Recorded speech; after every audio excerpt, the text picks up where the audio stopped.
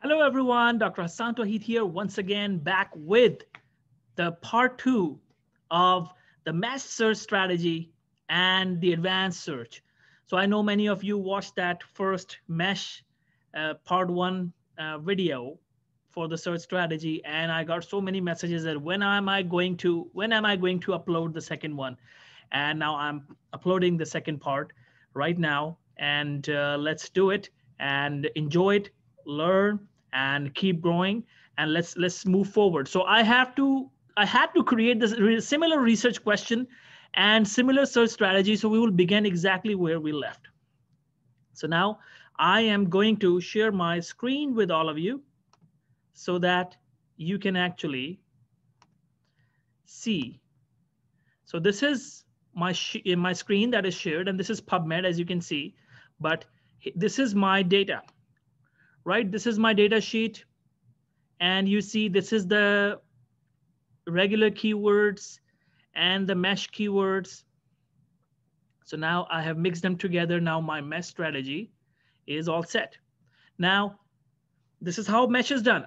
You are pretty clear about it. But now the next thing is the advanced search. So let's go to the advanced search strategy. So I'll go to my PubMed now you can see this is PubMed. This is advanced search here, the option. You see my cursor moving. On the left side, you see my cursor moving. So keep looking at it. If I click here on PubMed website, under the search bar, advanced search, it will take me to the advanced search. Now, this is a new page of advanced search, and you can see there are uh, three bars, or you can say that two lines where you can put information. Now, what do we do? Don't get scared of this advanced search page. It's so easy. So once you have your search strategy ready, you just need to come back and put their put your strategy out here. So let's do it. So this is concept one, right? So the concept one strategy is this. Concept one strategy is this, and I copy it and I bring it to the advanced search page and I will keep it to all fields here. You see that there are so many options. I could have applied the filters, but I'll keep it here. Now, the moment I do it, I can add, the moment I add it, it will be in the query box. So now it's in the query box. Now I have multiple, two options. Once I pasted it in the query box through this button, and I pressed add, now I have this. I can either search now or I can add it to history. So what do I do here? Just add to history. Don't click on search. No need to do that right now. We'll do the search later. So I clicked on add to history. The moment I add to history, now I have this search number one saved here. And see, this is perfectly accurate. There are no mistakes. Had there been any mistake, PubMed would have shown it to me mm, by, by coloring it in red color. And I would have found out that, okay, there is a mistake. But here there is no mistake right now. So this is a perfect strategy for my concept number one. Now I'll go back. And my concept two is benzos, benzodiazepine.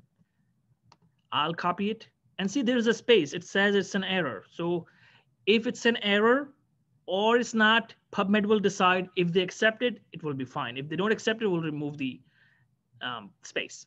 Now let's go to the advanced search again. Now, where do I put this search? Here, here, or directly here? No, I cannot put it directly here. So either I put it here in the first bar, here, or I put it here.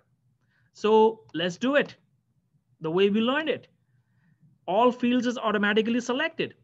Now I click on add. The moment I clicked on add, it is added to the query box. See? Now query box. Now what do I do? I click on add to history. Now I clicked on add to history. Now congratulations. Look at this. Search number two, concept number two is saved. But look at the total number of papers.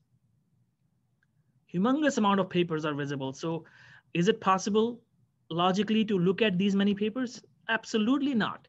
So don't worry about it. We will reduce it. This, these numbers will be reduced. This is what advanced search will do automatically. Don't worry about it. That's what we are going through. And now the third concept is left. Which one was the third concept? Anxiety. Now this is my third concept. I copy it. I come to my advanced search again and put it in the first search bar and all fields is automatically selected and I click on add. The moment I click on add, it's added to the query box. See this now? Now, once it's added to the query box, I either can search or I can add to history, but I told you to remember to add it to history. We're not searching it right now. Now, all three concepts are ready. One, two, three. Now, all three concepts are ready. Now, what do I do? I have to mix them together. I have to mix them together. And there are multiple ways to mix it. Two ways, actually, to mix them together. How do I do it? Easy way. Number one, I will mix it like this. One, and remember, these are three different concepts. So between the concept, we will put an or or an, or an and. O, R, or, or an A and D and. A and D and. Because different concepts will be combined together with an and. But same concept, like same concept here, different keywords will be added with an or, or, or, or, or, or. So remember this. Now I put an and here. And remember, always capital. It will be always uppercase, this and. Now number two, again and. But again, this is small, so this is incorrect. So now number three, I add number three, this search. So now this is one and two and three are added here in the query box. And the moment I add to history, it will tell me what is the total number of studies with combined strategy altogether. The moment I do it, the number should reduce tremendously and the search should become easier. Let's see what happens. And 1451 papers. 1451 papers with my concept one, two, and three when they mixed when they were mixed together. So if I now click here, and you see the time is mentioned here. What time did I do the search? You can mention that in your search strategy to make it really interesting. The today's date and the search strategy um, and the time, today's date and time. So while mentioning your search strategy and method section and results section. So now here, 1451, right?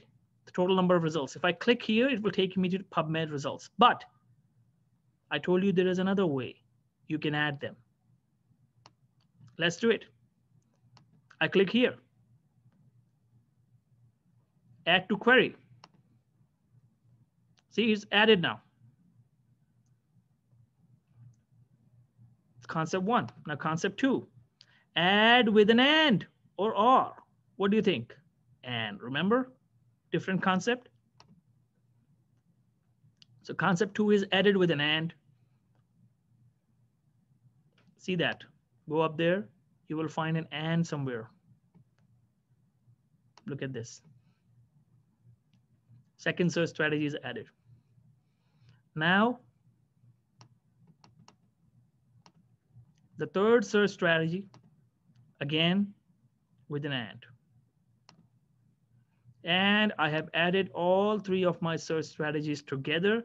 Now, if I add to history, the number should be 1451. The number should be 1451. If not, then that means I have made a mistake. Okay, congratulations. 1451, that means this is the exact search strategy. This is the exact search strategy I will mention in my method section. Now let's go to further details. Further details, if you want to create a huge impact, then just copy paste this strategy. PubMed is showing you complete strategy. You can mention that as your search strategy as well. What exactly PubMed did. Or if you want less details, you can mention this. So you have a complete search strategy. And here you see this one, two, and three. Same strategy. Imagine if you mention all of this in your method section, how beautiful your paper will become. how detailed it would be. You have a perfect strategy ready. Now, 1451 papers left on PubMed, but it's still a lot, right, to screen. So can we apply any inclusion exclusion criteria or filters right now to reduce it? Absolutely. Now let's go to PubMed search by clicking on it. It takes me here, right? It takes me here. So now I can reduce the number of years. I'll focus on last five years. See this? See this? This moving? Last five years, 2016. Okay. I chose last five years and now I have 248 studies. And I could have further reduced it. The search becomes so easy for me. Now, if I go back, because I have applied this, if I go back, the numbers should be 248 out there if it is saved. Yes, see this? Now 248 in last five years. Look at this, filters is mentioned here. So now I have feasible amount of papers left and it's very easy to screen, very, very easy to screen. So this is how you do your advanced search. And then once advanced search is done, you begin your removal of duplicates. Once you remove your duplicates, then you do the screening. And remember each database. You will do it for each database. You just don't do only PubMed. You will do the same thing for remover of duplicates from different databases. You combine them together, remove duplicates, then you go to screening and you do the combined screening of all databases, PubMed separate, then other databases, whatever you have used. And remember the gray literature. You should also mention some, some studies through gray literature. And uh, that's it for today. That's it. And congratulations, you are done with your advanced search. So watch this video again, take notes, rewatch it until you understand. If you have any question, comment below and I'll get back to you. And make sure you subscribe to this channel and mention subscribed. If you like this video, mention subscribe, okay? So that it will give me an indication that yes, I should keep making more and more videos to increase your knowledge. Thank you. Have a good day. Thanks a lot.